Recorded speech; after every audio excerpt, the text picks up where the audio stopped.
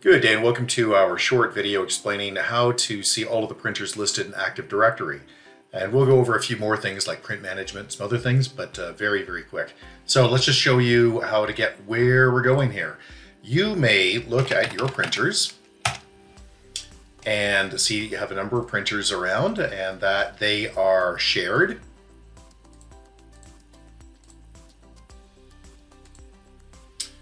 Uh, like this one is.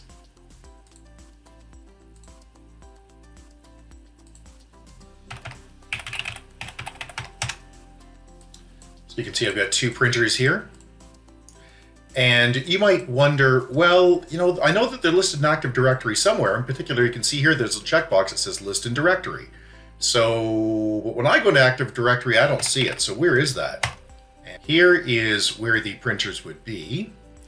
And when I show you this, they're not going to be there because you have to make one change. Let's go to, in my case, yes, I installed it on a domain controller, which is generally a terrible idea. Well, it's not the best idea. Okay, so you can see here, well, there's the printer and the DC1. I don't, uh, sorry, there's the domain controller, but I don't see where the printers are. That's because you have to click Action, or sorry, View, and uh, select Users, Contacts, Groups, and Computers as containers. That's the key. Click on that, it'll show you what's in them. So now I can expand again my domain controller, and look, now I see one printer.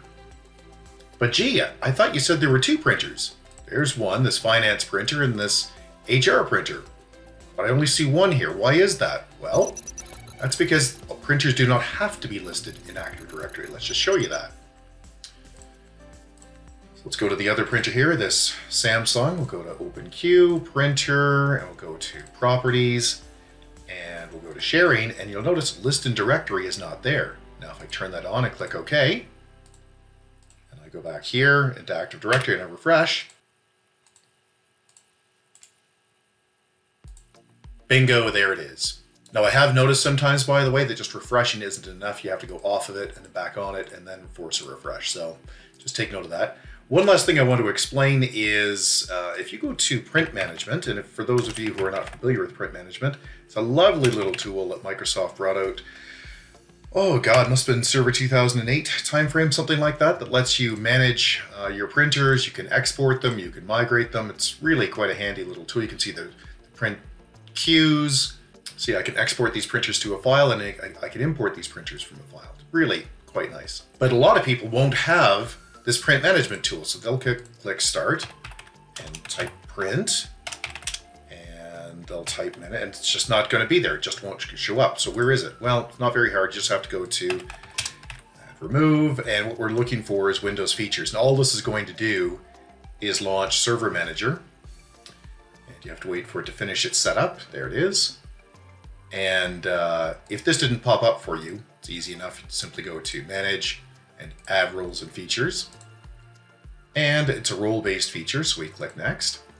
And yes, it's on this server. Thank you, Microsoft. And what you're looking for is this guy right here, Print and Document Services.